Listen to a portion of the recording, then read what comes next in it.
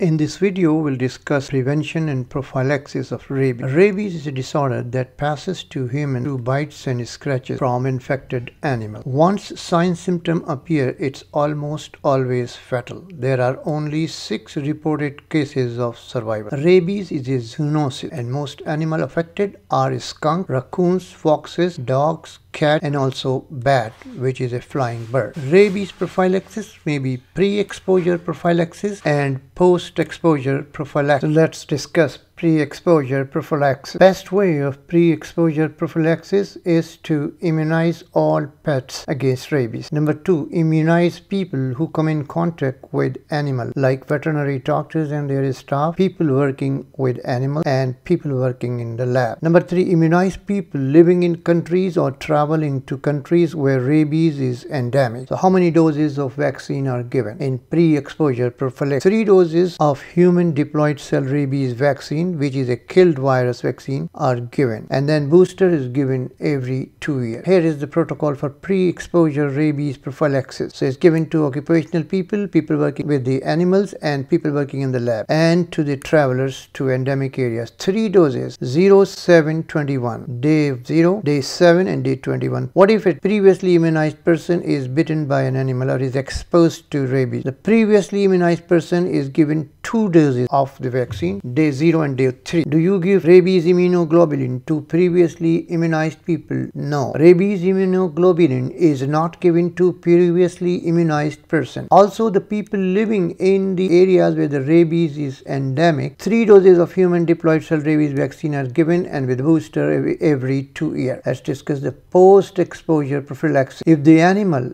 dog, cat or ferret that bites, it's caught, confined and observed for how many days? 10 days. If there is no sign symptom of the disease in the 10 days, then no treatment. But if the sign symptom of the disease develop Animal is killed and a brain examined for rabies virus by direct fluorescent antibody testing and viral isolation using cell culture or mice inoculation and treatment is given. We'll discuss treatment in a moment. Number two, any animal other than dog, cat and ferret should be killed and his brain should be examined immediately for rabies by fluorescent microscopy. Specimen is negative, no treatment. Number three, immediately kill an animal who is bitten by unknown or a rabid animal. Number four, if the animal escapes, patient is given vaccine and serum both. Rabies immunoglobulin plus rabies vaccine in immediate post-exposure period is highly effective in preventing rabies. Rabies vaccine and immunoglobulin should never be given at the same site or in one syringe. They should be given separately. Number five, Presence of bat in a small room with a child or a sleeping adult also requires post-exposure prophylaxis. And number six, in high endemic risk areas, rabies prophylaxis should be initiated without waiting for lab results. How post-exposure prophylaxis is done? It has two parts. Number one, local wound care and number two active and passive immunization. What's the advantage of local wound care and how do you do? local wound care decreases the risk of rabies by as much as 90% the local wound care is done by the following method. Clean and wash the wound and scratches by water and soap thoroughly for 15 minutes and then by alcohol and tincture iodine. Devitalized tissue should be debrided. Tetanus toxoid is given and a patient is given antibiotic. Do not cauterize or suture wound up to 48 hours. Number two, both active and passive immunization of the rabies vaccine. Inactivated rabies vaccine is highly immunogenic and safe. How many doses and when they are given? Rabies vaccine is given in 5 doses on day 0, 3, 7, 14 and 20 28 that is a one month course. Pregnancy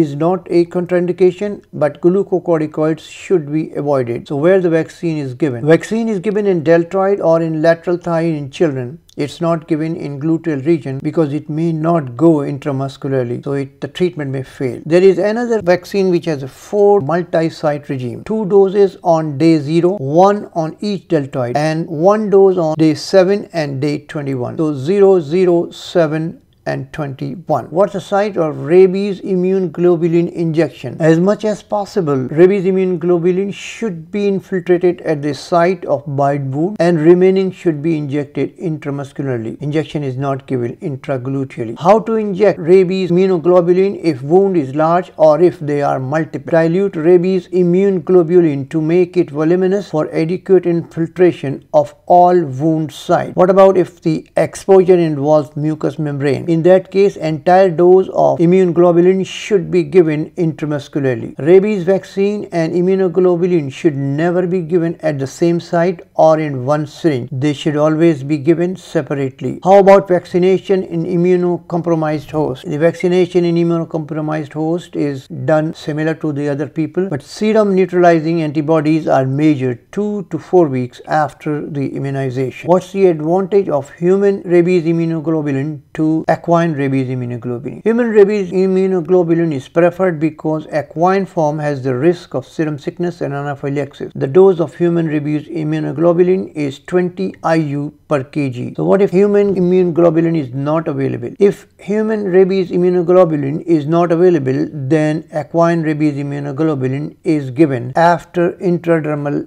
skin testing. What if rabies immunoglobulin is not available immediately? If rabies immunoglobulin is not available immediately, then rabies vaccine is given and then rabies immunoglobulin is given within 7 days but not after the 7 days because after 7 days endogenous antibodies are produced in the body. So passive immunization in that case may be harmful and there is no treatment for rodent bite